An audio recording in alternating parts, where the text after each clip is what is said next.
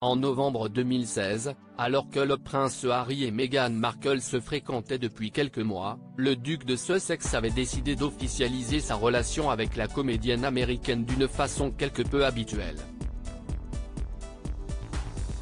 En effet, le palais de Kensington, qui gérait la communication de Harry, avait fait parvenir un communiqué pour dévoiler le nom de la jeune femme, tout en dénonçant le harcèlement dont elle était victime. Sa petite amie Meghan Markle a été l'objet d'une série d'abus et de harcèlement, avait ainsi écrit le palais, avant d'ajouter, le prince Harry est inquiet pour la sécurité de mademoiselle Markle et est profondément déçu de ne pas avoir été en mesure de la protéger. Il n'est pas normal que mademoiselle Markle soit sujette à une telle tempête après quelques mois de relation.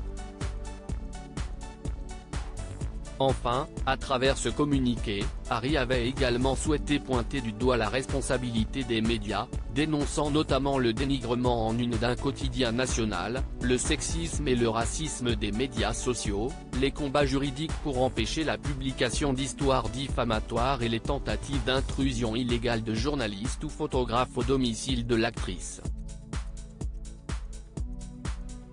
Et près de six ans après, on découvre d'étonnantes révélations sur cet étrange communiqué de presse. Dans Revenge, Meghan, Harry and the Windsor, une biographie sur le duc et la duchesse de Sussex, écrite par le journaliste d'investigation Tom Bowers et publiée ce jeudi 21 juillet, l'auteur nous apprend en effet que c'est Meghan Markle qui a insisté pour que Harry rédige ces mots. Elle souhaitait ainsi comparer son sort à celui de Lady Diana, sans pour autant la nommer.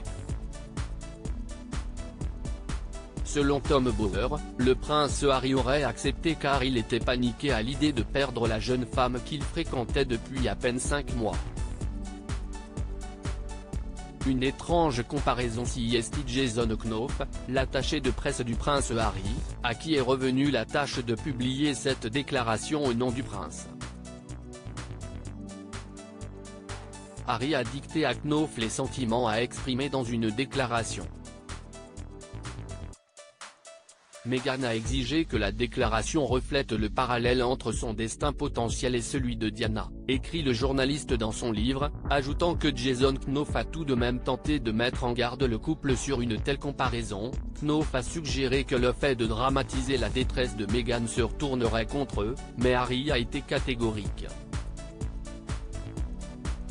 Si le souhait de Meghan d'être assimilée à Diana n'était pas satisfait, a insisté Harry, il la perdrait probablement. Knopf a acquiescé.